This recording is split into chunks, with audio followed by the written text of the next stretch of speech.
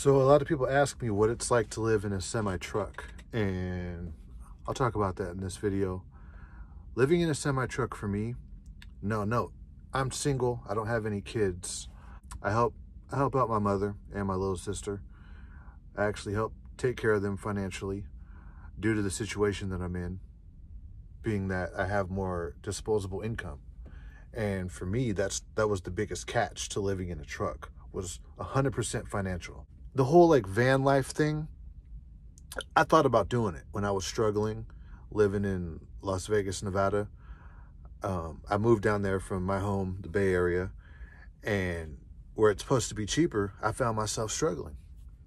Found myself struggling. I was making good money, doing what I was doing, but the bills, the bills and just life was just beating me down every every week, every day, honestly. I had this thought in my head like, man, what if I just you know, bought like a camper and towed it with a truck and lived, you know, just outside of town at the rest area over by Primm off of the, the highway? Or what if I lived at a truck stop out of a van with a bed in it? And then I started thinking, well, better than that, why don't I just get my CDL and live out of a truck?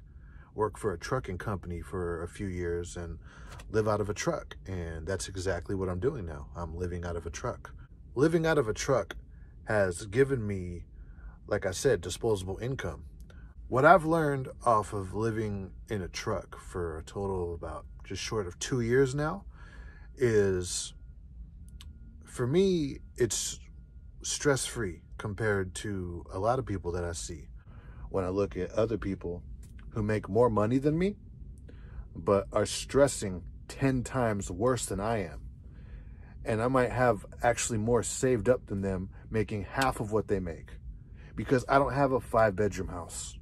I don't have, I don't have, I don't have a Mercedes. Something else that I wanted to add in as I was editing this, I don't have a fancy car. I don't, I don't have a fancy apartment. I wear nice clothes, but what trucking has done for, you know, just my thoughts is when I'm on the highway, especially when I'm in LA or something, but even wherever, and I see on the highway a Mercedes, a Mustang, right? I think to myself, does this person really have the money to afford that, or is that about to get repoed? And yeah, they have a nice Mustang, but do they have a lot invested in their Roth IRA? Do they have a lot invested in their 401k? Do they own stocks? Do they have other investments? Are they into real estate? Or is it just a nice car? Because one thing in America that is very true is a lot of people play keeping up with the Joneses. Trucking has taught me how to get wealthy, actual wealthy, to go after that. Because in order to get wealthy in America is you need to control your cash flow. If you want to go into the top 1% from the middle class, it's all about controlling your cash flow and investing the cash. And when I see people driving these fancy cars, I think, hmm, I just wonder what their situation is because I've had nice cars before and they were just a money pit. I don't have a, a Toyota Camry. I don't have a car note. I don't have I don't have to pay a PG&E bill, an electric bill on this five bedroom house, this four, three bedroom house, plus the mortgage, plus whatever else. I don't have to worry about coughing up property taxes. I don't have to worry about a lot. I don't have to worry about a lot. What trucking has taught me in the past, like I said, just short of two years that I've been living in this truck, in this assigned truck right here, is that most people say they want to be rich. They say they want all this money. They want to live in the Beverly Hills and have a Lamborghini and a mansion and yada yada, private jets. Most of the people that say that say that because their day to day life is a struggle. And they look at people on the opposite side of the spectrum, like Kim Kardashian or whoever, and they look at their life and they think, man, if I could just have one day in their shoes. And they go off on these tangents talking about how they wish they were rich when in reality, they just wish that they didn't have to struggle the way that they're struggling. They wish that they didn't have to worry about how am I going to pay the rent? How am I going to keep the lights on? How am I going to feed my kids? How am I going to get gas in my car? I need to drop $5,000 to fix this transmission or my blown head gasket or I need to get a tune-up at the drop of a hat and I don't have no more warranty on my car, but I'm still making car payments on it. And I can't refinance this car or I can't trade it in because it has too many miles and I haven't paid into it enough to trade it in. People are stuck and they're stressed out. And I feel like, honestly, yeah, I know I'm still in the rat race, but I kind of feel like I escaped it at the same time because I don't have to worry about paying rent to my landlord at the first of the month. I don't have to worry about making my mortgage payment on time. I don't have to worry about the lights going off in my house, which I, which I did uh, at one point. I don't have to worry about my car just broke. This is my car. This is my car and my company you know takes care of all that and i don't i don't swipe my card to use gas this is a free ride this is a free place to live not to mention yeah as truckers we make decent money even if you're on the low end with a mega carrier if you could pocket that whole paycheck that's what most people wish that they can do but they just can't and not to mention i have money to go and do things like stay at the beach for a weekend in a very beautiful, nice hotel and go out to eat in amazing restaurants with good food.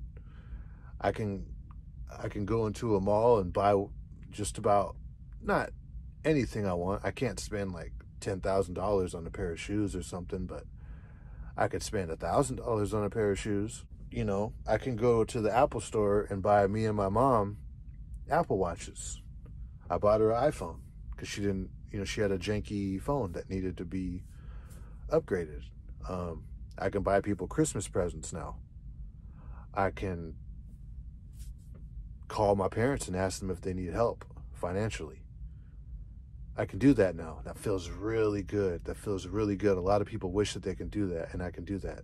I don't always make it home, but it doesn't matter to me. I'm close enough. I'm in my state and it works. Living in a truck is not easy. It's not for everyone. I'd say this lifestyle, this line of work is really for single people. Now, if you're gonna work for Pepsi, Coca-Cola, maybe even a company like US Foods, where you go in and clock in, you get paid by the hour, and you're unloading boxes or pallets, and you go home at the same time, you have a very set schedule, Monday through Friday, then it could be for someone with a family. But if you're going to do the type of trucking that I do, even in your own state, don't expect to go home all the time. I tried to go home this past, my past two days off, and I had to do it right here in town because they didn't have a load going up there because of the way I was scheduled. I can get, I can ask them a day ahead of time and I can usually go wherever I want to go.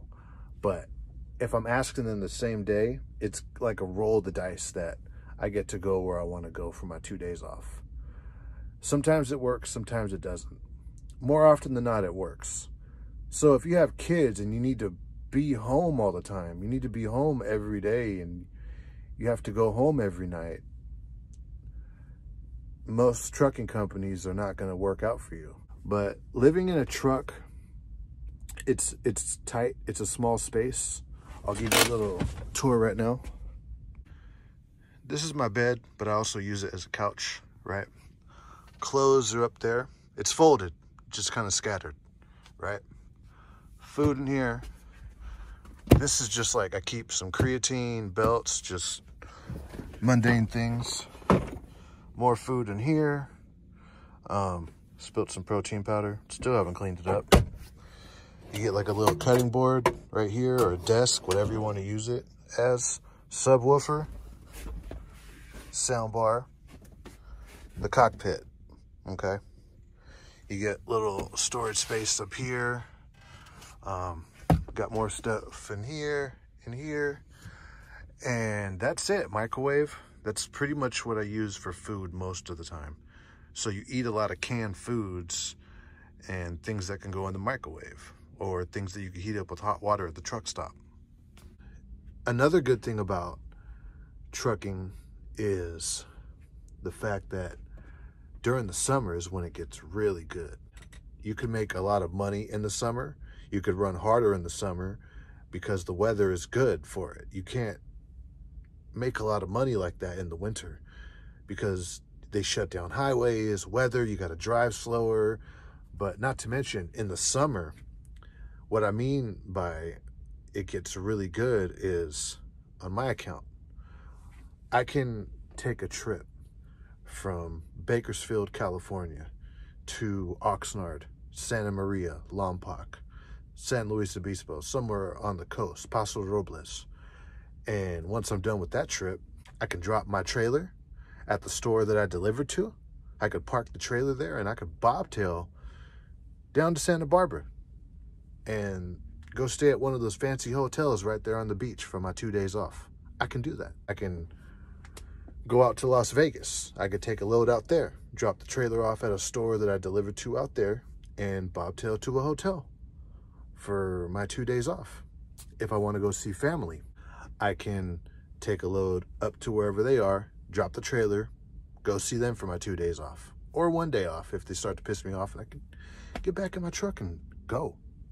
Get back in my in my domicile and just leave. That's what trucking has done for me. That's what it's like to live in a semi truck it's think of van life, but with a job, with a good job that also comes with dental insurance, health care, and vision.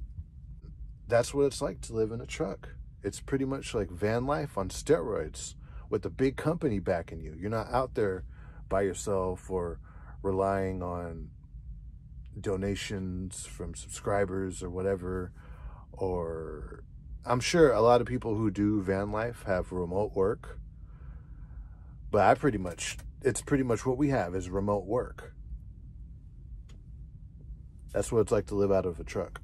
If trucking is something you want to get into, look into it. If you're young right now and you can't get a CDL, do not mess up your driving record. That way, when you're old enough to get a CDL, you can do it. Because I, I do believe that this is one of the best lines of work that you can get into. So that's what it's like to live in a truck. Like this video, subscribe. Peace out. Thank you for watching.